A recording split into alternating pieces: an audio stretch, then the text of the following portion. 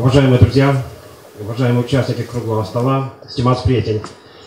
Э, Темами єсі партия до аеропорту Викарії Ладу навчився до нього депутату. Да. Да. Э, тема у Темами єсі партия до Карядуса Лаконовчинця до нього депутату Георгий Ангел, ще намірчі корупція, фа серіали, а гувернері актуалі. Stimați prieteni, aflându-se la putere din anul 2009, guvernarea actuală a introdus în Republica Moldova un business nou, business care se numește corupția. În urma activității criminale a guvernării actuale, Republica Moldova a devenit o țară deosebită, o țară unde corupția la nivel de conducători ai țării este un fenomen normal, un fenomen obișnuit. Numai în Republica Moldova conducătorii guvernului își pot permite deschis născocirea și participarea în scheme corupționale. Numai în Republica Moldova prim-ministrul țării și-a permis deschis susținerea și participarea în scheme de contrabandă la frontieră, implicând în aceste scheme conducătorii de diferit nivel, inclusiv și pe unii deputați din Parlamentul Republicii Moldova. Situația creată de guvernarea țării în domeniul luptei cu corupția a impus Parlamentul Republicii Moldova de a dimisiona a fost la guvernare pentru corupție. Este o rușine pentru țara noastră. Cinci ani la rând, guvernarea ascunde situația reală în domeniul luptei cu corupția. Cinci ani la rând, pentru a manipula cu Centrul Național de Corupție, guvernarea folosește metodele sale iubite, așa cum sunt influența politică și șantajul politic. Ani la rând de la cetățenii Republicii Moldova se ascund datele reale în domeniul luptei cu corupția. Ani la rând, nimeni nu poate primi răspuns la multe întrebări, așa cum sunt. Cine e vinovat în situația cu vânzarea ilegală a armamentului în Armenia? Cine e vinovat în furtul la 6 milioane din dosarul cazinourilor? Cine sunt organizatorii și vinoveții vânătorii din pădurea domnească? Cine este vinovatul în furtul de la stat, a băncii de economii și multe altele? Republica Moldova în ziua de azi a ajuns în această perioadă la un nivel deosebit, la un nivel unde cele mai ofensate de domeniul, de fenomenul corupției sunt administrația publică locală, Ministerul Afacerilor Interne și întreprinderile de stat din subordinea Cancelariei de Stat.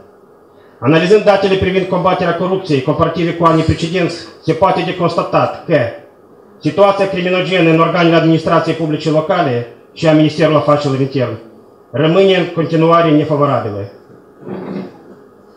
Republica Moldova a ajuns la așa un nivel că au fost documentate acte de corupție săvârșite de către persoane cu funcție de răspundere din cadrul Guvernului Republicii Moldova, Ministerul Afacerilor Externe și Integrării Europene și Agenției Achiziții Publice. Aici vreau să mă opresc pe câteva secunde și vreau să vă spun că în ziua de azi, destul de ușor și liber, în rândul acestor structuri de stat se poate depus și Procuratura Generală. Și vreau să vă duc la cunoștință dumneavoastră două cazuri care au avut loc practic anul ăsta, nu așa de mult.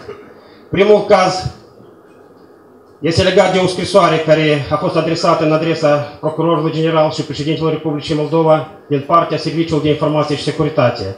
În această scrisoare au fost descrise cazurile de corupție din cadrul Procuraturii Generale, cu date concrete, cu cifre concrete, cu sume concrete. În această scrisoare a fost descris un caz destul de interesant pentru Republica Moldova, legat de viceprocurorul municipiului Chișinău, care a luat o mită de 2 milioane de euro de la un agent economic din orașul Chișinău. Au trecut două luni. Nici din partea procurorului general și nici din partea președintelui Republicii Moldova nu este nicio reacție. Al doilea caz este legat de o scrisoare scrisă în adresa procurorului general din partea procurorului municipiului Chișinău, pe 27 de pagini, unde sunt descrise cazurile de corupție de rândurile procurorului Procuraturii Generale. La întrebarea procurorului municipiului Chișinău, de ce se permite în ziua de azi ca să activeze în rândul Procuraturii Generale bandiți, procurorul general a răspuns destul de scurt. În ziua de azi, la guvernare, toți sunt bandiți. Analiza, analiza evoluției infracționalității de corupție, de tată, tendința tot mai accentuată a funcționarilor publici de rang înalt, de a folosi situația de serviciu în interes personal și material, ca urmare fiind prejudiciate în proporție considerabile interesele publice, naționale și ale cetățenilor. Astfel, din totalul cauzelor penale de corupție, 60% au fost pornite în privința conducătorilor de rang înalt. 64% din cauzele de corupție au fost pornite în privința infrac infracțiunilor deosebit de grave, 30% mai puțin grave și numai 5% ușoare. Au fost depistate cauze de corupție săvârșite de persoane care dețineau următoarele funcții de demnitate publică la nivel înalt. Ex-prim-ministru, secretar general adjunct al guvernului, ministru al sănătății, patru judecători, 12 primari. S-a constatat că cele mai afectate de fenomenul corupției au fost următoarele instituții, organele de drept, 100 acte de corupție în timp de un an, administrația publică locală, 85, Ministerul Finanțelor, 35, Medicina, 27, Ministerul Învățământului, 41, Justiția, 20. În comparație cu anul 2012, creșterea este aproape de două ori.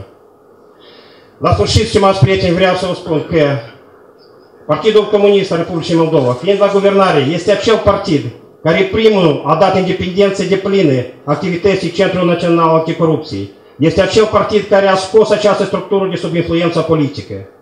Fiind la putere 8 ani, guvernarea Partidului Comunist a dovedit că poate și știe cum să lupte corupția. 8 ani la rând, Republica Moldova a dovedit societății că este cointeresată în problema luptei cu corupția. Știm ce să facem, știm cum să luptăm corupția, știm cum să o nimicim și numai decât o vom nimici-o. Mulțumesc!